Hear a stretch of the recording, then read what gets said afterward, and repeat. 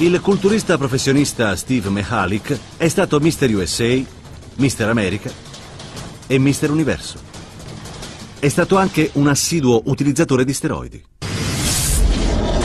Mihalik inizia a far uso di steroidi nel 1975 per prepararsi al concorso di Mr. Universo. Continua a usarli per dieci anni.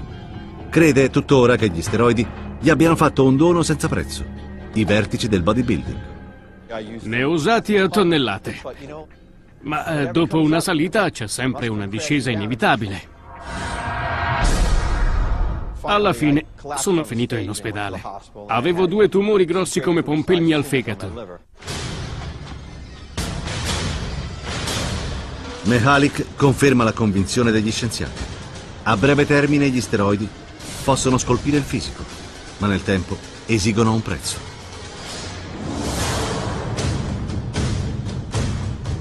Dall'esterno un utilizzatore di steroidi può sembrare più muscoloso e virile, ma all'interno per i medici può succedere questo.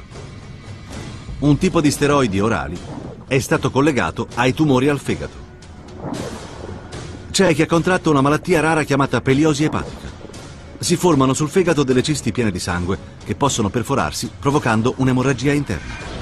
Alcuni studi rivelano anche la formazione di tumori ai reni con conseguente insufficienza.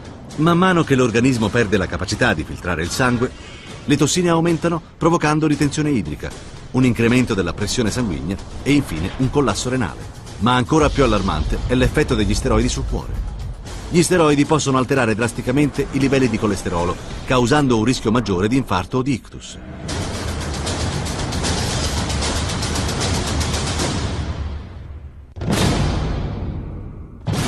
Un catalogo di malattie letali. Steve Mihalik le ha avute tutte. Tumori al fegato, pancreatite, disturbi della cistifellea, un attacco cardiaco, un ictus e l'elenco continua. Tutti i miei organi sono crollati uno dopo l'altro, pezzo dopo pezzo. E tutte le mie arterie erano ostruite, non passava sangue attraverso le sette arterie del cuore. Il chirurgo che mi ha operato ha detto di aver visto più sangue in un morto che in me. Steve non è solo. Sopporta il dolore, allontana la vergogna, andiamo!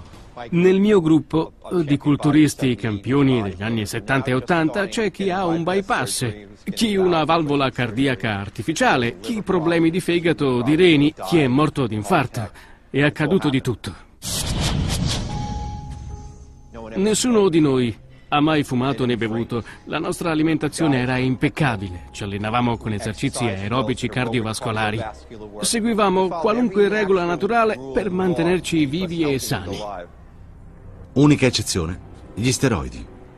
Quella era la differenza. Quella era la variabile, l'unica comune a tutti noi.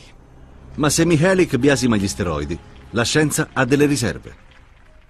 Negli ultimi 70 anni di utilizzo di questi farmaci in medicina non è stata condotta nessuna ricerca che ne abbia valutato gli effetti a lungo termine. Su questo argomento circolano soprattutto casistiche o aneddoti stile quella persona ha fatto uso di steroidi e ha avuto un cancro al fegato o un tumore ai reni. Dal punto di vista metodologico non c'è nulla di peggio. Non si può dimostrare un rapporto causa-effetto. Non è possibile. Dimostrare un rapporto di causa-effetto è ulteriormente complicato dalla frequente combinazione di steroidi con altre droghe, tra cui gli ormoni della crescita, l'insulina, gli ormoni della tiroide e le anfetamine. Per gli scienziati, illustrare i rischi degli steroidi è stato difficile. Le prove possono esserci, ma sono controverse. Da un lato ci sono centinaia di migliaia di persone che hanno usato questi farmaci e non sembrano averne risentito particolarmente. Dall'altro, ogni tanti mesi si sentono storie di culturisti o atleti del passato morti improvvisamente in circostanze misteriose. Il wrestler professionista Brian Pillman è morto di infarto a 35 anni. Il wrestler Eddie Guerrero è morto per una cardiopatia a 38 anni. E Davy Boy Smith è morto a 39 anni. Tre decessi negli ultimi dieci anni, tutti per problemi cardiaci e tutti con un sospetto comune. Per anni i medici hanno sospettato un legame tra gli steroidi e le malattie cardiache. Gli steroidi abbassano il livello del colesterolo HDL nel sangue. Noto anche come colesterolo buono, secondo i medici, l'HDL protegge l'apparato cardiovascolare dalle cardiopatie. Anche se chi usa steroidi può apparire perfettamente sano, dall'interno il loro organismo può raccontare una storia diversa.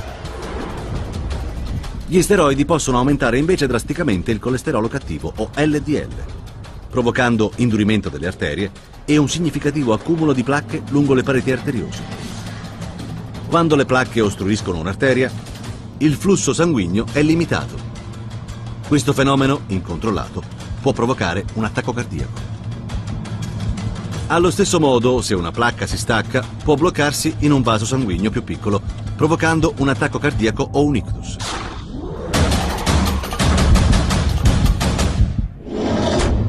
Basta fare uso di steroidi per pochi anni per danneggiare il proprio organismo. La prova è Danny McDermott. A 53 anni fa il consulente finanziario, ma Danny è un ex campione di bodybuilding. Quando gareggiavo e aspiravo a raggiungere il successo a livello nazionale e internazionale, ero certo che i miei rivali usassero steroidi. E li usava anche Danny. A 36 anni, sette anni dopo aver abbandonato steroidi e bodybuilding, subisce un brutto colpo. Il dottore disse hai avuto un infarto massivo e sei fortunato ad essere vivo.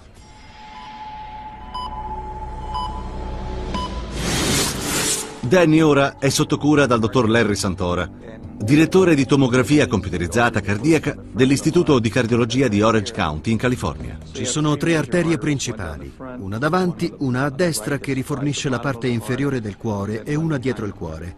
Hai l'arteriosclerosi o placche, in ognuna di esse, ruota. Nell'autunno del 2006 Santora pubblica il primo studio osservazionale su steroidi e malattie cardiache. È anche il primo studio a usare uno scanner TC con fascio di elettroni per valutare la quantità di placche accumulate negli utilizzatori di steroidi. C'è un indurimento delle arterie. Santora analizza 14 culturisti tra i 35 e i 55 anni che hanno usato steroidi per una media di 12 anni. Un numero significativo di individui presentava una grande quantità di placche già intorno ai 30 anni, placche che di solito si riscontrano nei settantenni o ottantenni. Sembravano in forma, robusti, ben sviluppati. In fondo sono culturisti professionisti, ma le arterie erano pericolosamente calcificate, indurite. Si trattava dell'indurimento prematuro delle arterie che si spiega solo con l'assunzione degli steroidi. In tutte e tre le arterie maggiori hai arteriosclerosi o placche. Per arrivare a questo livello un atleta professionista deve farne uso per parecchi anni. È allora che si cominciano a vedere gli effetti. Questi uomini li hanno usati per 10, 12 anni, 15 anni e moriranno all'improvviso.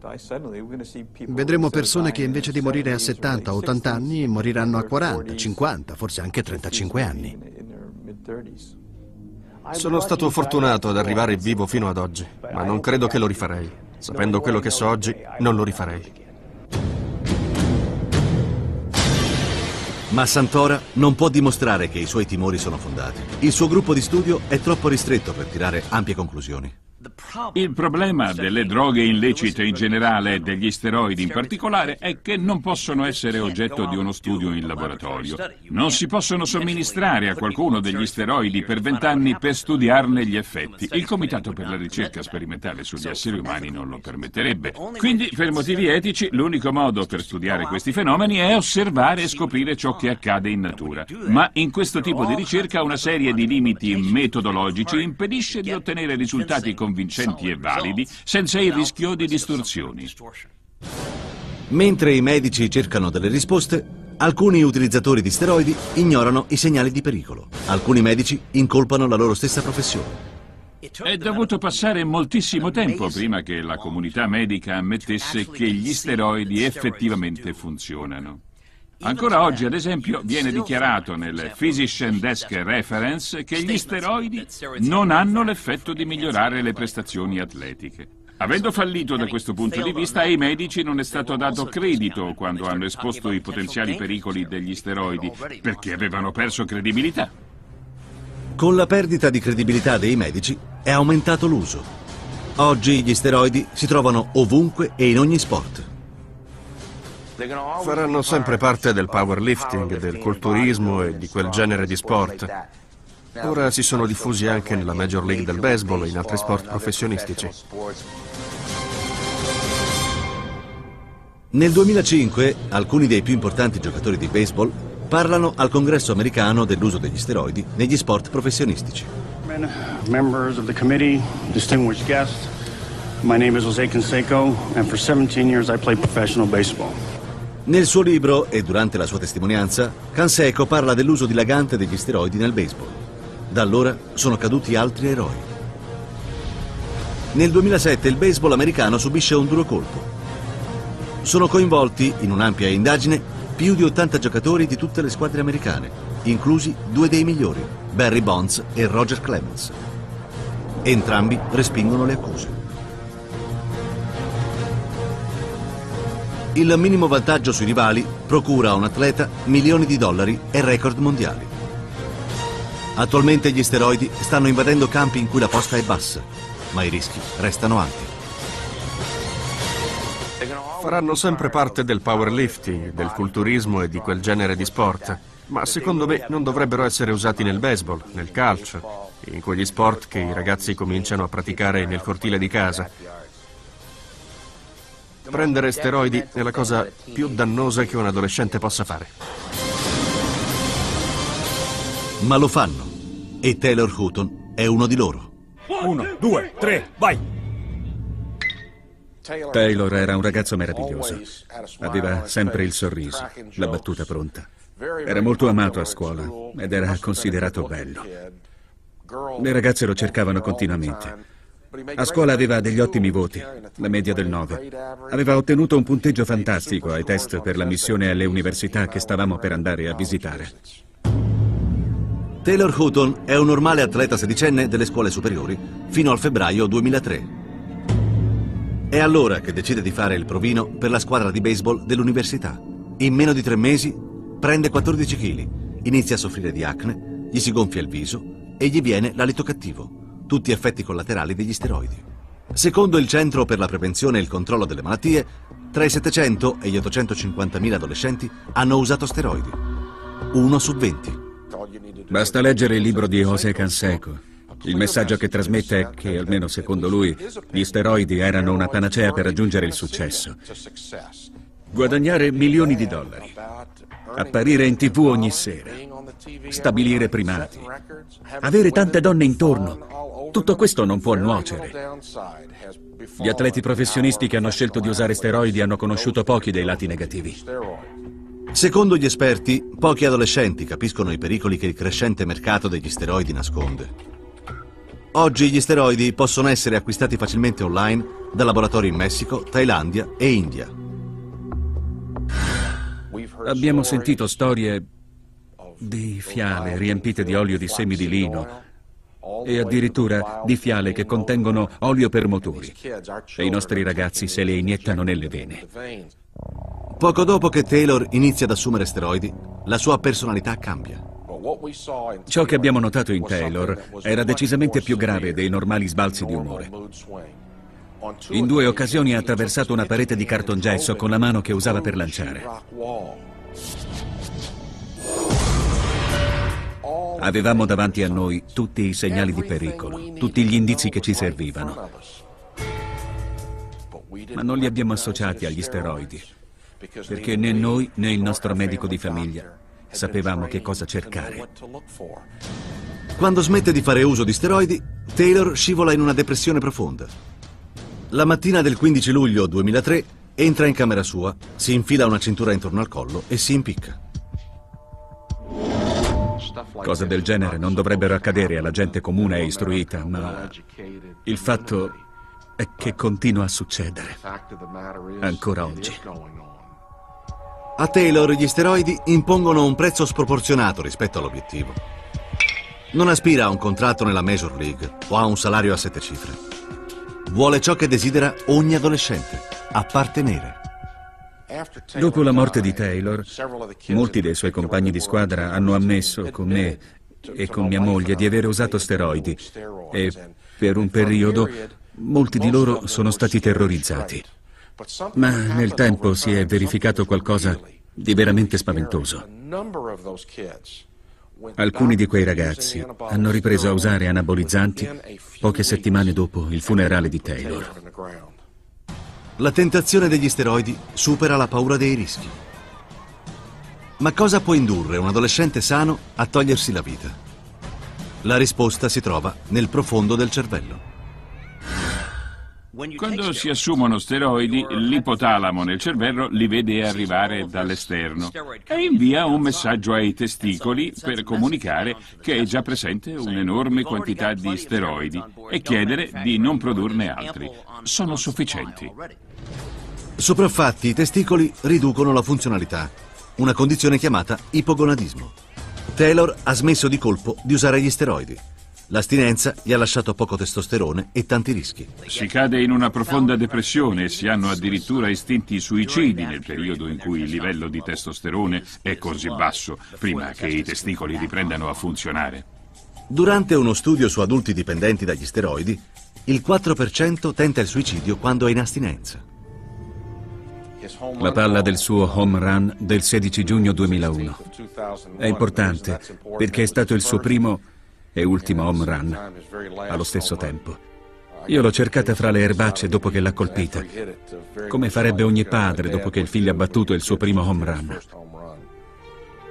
Don Houghton ora dirige una fondazione a nome di Taylor per proteggere altri adolescenti dagli steroidi.